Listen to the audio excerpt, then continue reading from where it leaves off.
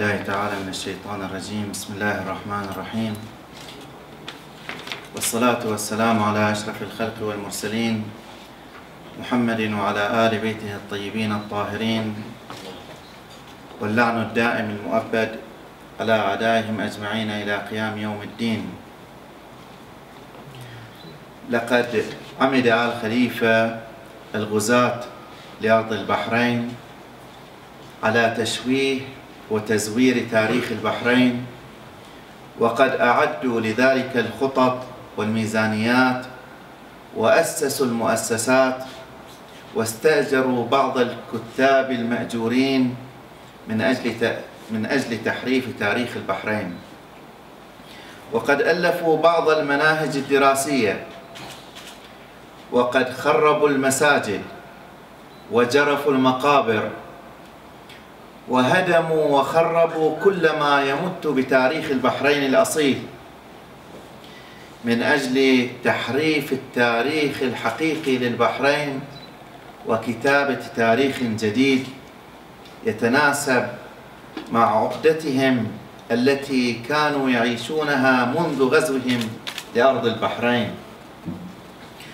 وخطوة سحب الجنسية عن المواطنين الأصليين وآخرها عن سماحة آية الله الشيخ عيسى أحمد قاسم هي نابعة من هذه العقدة النفسية وقد تحدث الطاغية حمد عن هذه العقدة النفسية في أكثر من مرة عن أصولهم الخارجية وادعى أن شعب البحرين بأكمله قد جاء من الخارج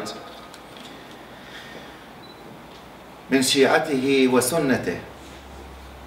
وما علم أن شعب البحرين أصيل في جذوره على أرض بوال قبل البعثة النبوية.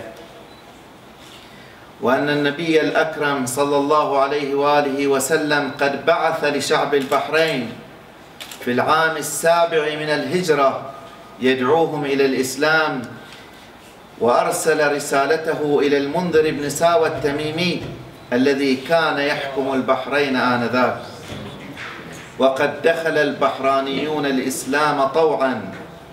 أما قصة دخول آل خليفة إلى البحرين فهي قصة هذا الكتاب الذي نحتفل اليوم بتدشينه لتبيان أصول آل خليفة وتاريخهم الأسود الملطخ بدماء البحرين الأصلاء. نحن في تيار الوفاء الإسلامي إذ نبدأ بطباعة كتاب آل خليفة الأصول والتاريخ الأسود. نعلن لجميع الكتاب والباحثين التاريخيين أننا فتحنا قسما جديدا يعنى بتاريخ البحرين. ونحث كل الكتاب والباحثين على الكتابة في هذا المضمار.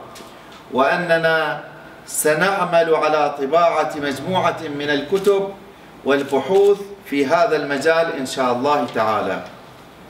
وفي الختام نتقدم بالشكر الجزيل لكل الحضور ولكل من ساهم في إنجاح هذا العمل.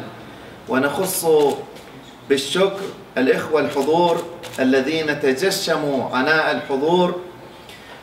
ونخص الإخوة اللجنة القائمة على إعداد هذا الكتاب وتشكيل هذه اللجنة وإعداد هذا الحفل ونخص مرفأ الكلمة الذي استضاف هذا الحفل ونشكركم جميعا ونهدي ثواب هذا العمل المتواضع لأرواح شهداء ثورة الرابع عشر من فبراير وجميع شهداء الإسلام والسلام عليكم ورحمة الله وبركاته.